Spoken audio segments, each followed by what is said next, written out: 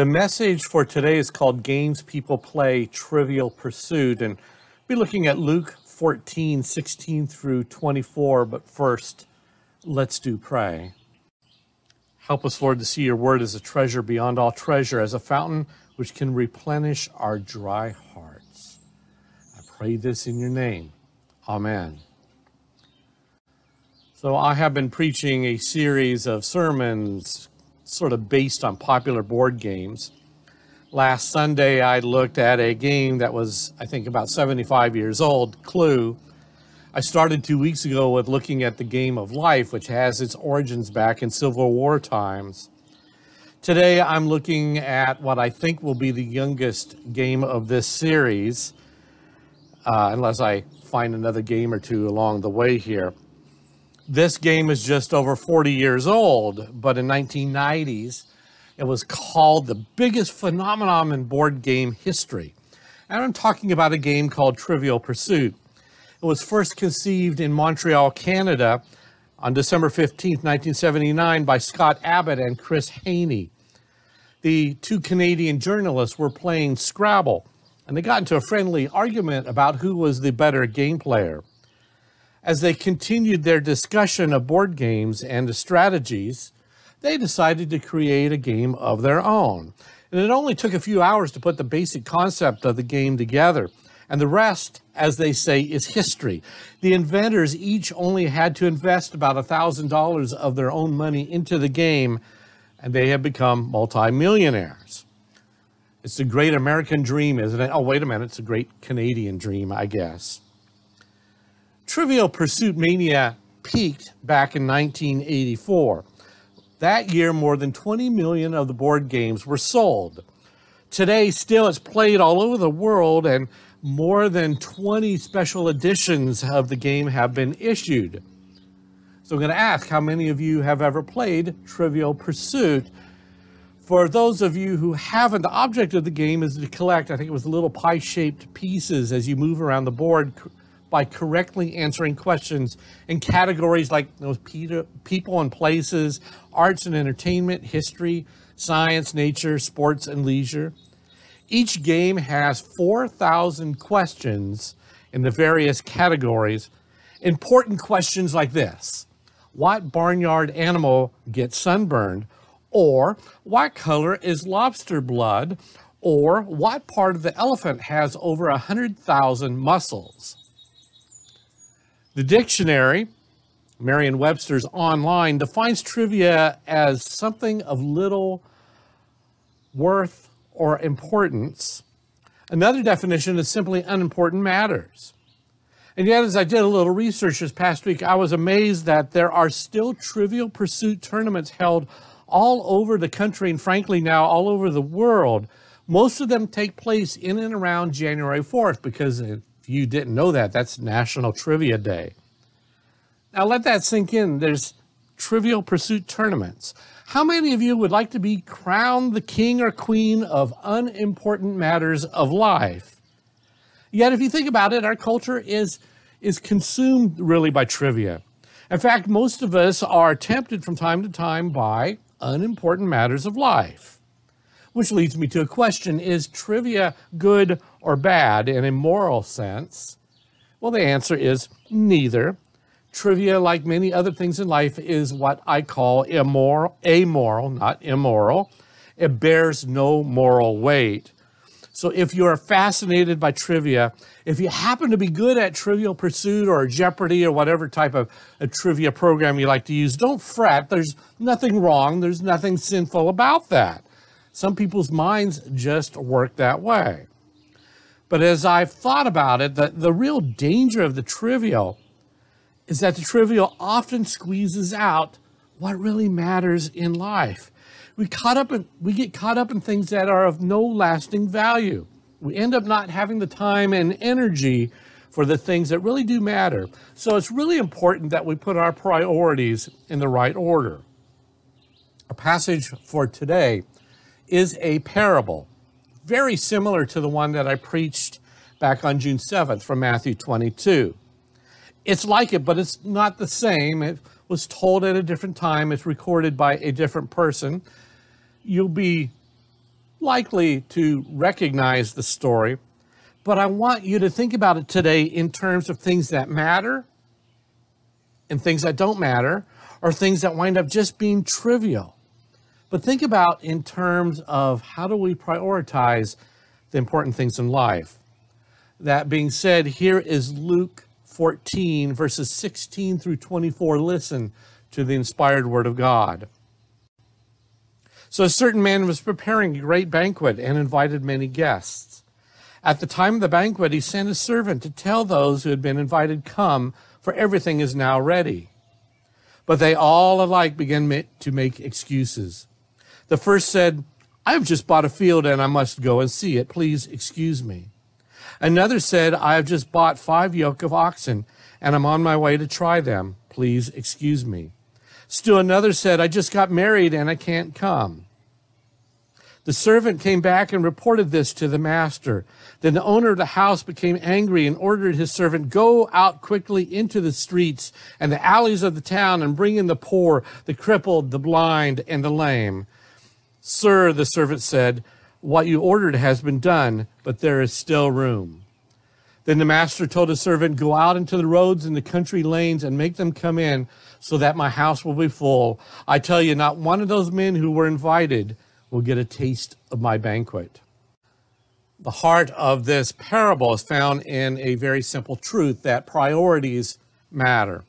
The problem, of course, is how do you decide between competing priorities in, in life? It's a situation we all face today. It's not like we're trying to decide between mowing the grass or robbing a bank. Well, at least I hope we're not trying to decide between those two. I think this is more about rather mundane decisions. When we face the difficult task of, of sorting between good priorities of life, maybe such as me deciding to watch a rerun of Monk or working on next week's sermon. Well, seriously, the types of choices that we face today are the tough kind. Tough kind because we need to decide between what is good and what is best. We're not always having to decide between what is good and evil. And I believe the passage today has some help for us in answering this question Is this a trivial pursuit? I want to look at what Jesus says here. First way to decide what's going on or to look at what we need to do is to figure out who it is who is calling. And I get that from verse 17 of the text, where it says, At the time of the banquet, he sent a servant to tell those who had been invited, Come, for everything is now ready. You see, the he, the guy throwing the party, very clearly is meant to be God. And the servants in the story, well, they stand for you and me. So it is really God who is issuing the invitation to come to the party. And it's us that he's urging to go out and extend that invitation to other people. Now, I've got something to admit to you. I'm not a big partier. Uh, that's not a surprise, right? It's not that I'm antisocial, I'm just anti-party. No, no, really. I've, I've never been outgoing enough to really get into any sort of party scene, especially when I was younger. But now that I've reached a ripe old partying age of, well, I'm well over 60 now, you understand. But think of the party God wants to throw for us. Why in the world would any of us want to miss that party? And a related question is this if we really believe God's party is going to be awesome as we say it is, why in the world would you and I keep it a secret? What's keeping us from telling everyone about it? Consider who it is who is calling. It's the God of the universe calling you and me. He's inviting us to join with Him. A second way that Jesus offers for us to sort out our priorities is to remember that character counts. So, in this story, in this sermon illustration, in the parable, after this invitation is extended by God, Look at what the people's excuses were. It says in verse 18, they all alike began to make excuses. Notice how weak and lame the excuses that these guys, and figures it was guys, give are. I mean, they're worse than the ones that I would come up with. Let me ask you, Who buys property sight unseen? Nobody does that. But the first one says he's just bought a field and now he has to go out and look at it. That's lame. The second guy says he's just bought five yoke of oxen. That's 10 oxen yoked together. Anyone back then, frankly, it's probably even true now, who could afford to buy that many animals probably afforded many farm hands, and any one of them had could have been able to go to try out the oxen. I mean, after all, the farm hands are the ones who are going to be using the oxen, not necessarily the guy who bought them. So why does he suddenly need to try them out? Now, the third guy says that he just got married, so he can't come. Now, that's the only excuse that holds water with me. But as you read the passage, it holds no sway with Jesus. The bridegroom, if you think about it, would have had plenty of advance notice to plan to go to the banquet. And even though the invite would have gone to the man only, the bride might have just loved to have gone with the guy to the party. And let's face it, no man who has just gotten married is going to openly admit that his wife just won't let him go somewhere. No way. That excuse doesn't hold water. I guess what I'm talking about right now is the difference between an excuse and a reason. Now, you teachers out there know what I'm talking about. You've heard all the excuses. What's the classic one? The dog ate my homework, right? Excuses are for people who are trying to get out of things. Reasons are valid causes as to why you can't do something. Excuses are bad. Reasons are, well, they're reasonable, they're acceptable. When you excuse yourself for something, and let's face it, when you don't want to do something and then any old excuse will do, like watching a rerun of Monk. But you've got to be on guard when you do that about character issues.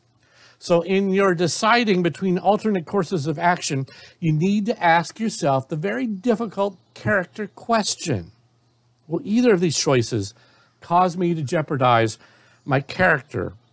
Can I do either of these choices in good conscience? If you just think about it that way, oftentimes this will help you clarify the issue or clarify the decisions that you need to make. The final way to sort out our priorities in this passage is really to look at the consequences of a particular course of action. Are the consequences going to be trivial? Or are they going to be amazingly huge or treacherous?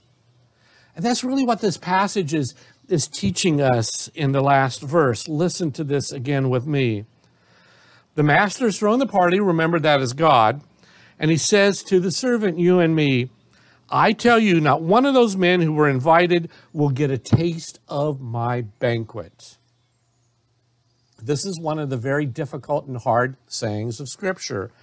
But Jesus is so clear right here. Not one person who refuses the invitation is going to be given a makeup date for the banquet. The consequences are grave for those who refuse to come. The text says that they will never taste what God has to offer. The meaning, of course, is that the things of eternity that God offers to us are not trivial. To turn down the things of God is not a light and trivial matter. Again, the trivial stuff isn't bad unless it draws us away from the important things of life, which trivia, I suppose, is very prone to do. Well, even though I am a confirmed and sometimes dour Calvinist, we all face choices. And I'd like to offer you this morning some additional help with choices. Years ago, I heard a pastor, I think it was back out when we were in California, who used the acronym STP. Now, do you know what STP is? Well, STP is a, a gas and oil additive product for your car. And supposedly it makes your engine run smoother and better. Now, my first car was a 1966 Mercury, and it would not run well without a six ounce bottle of STP.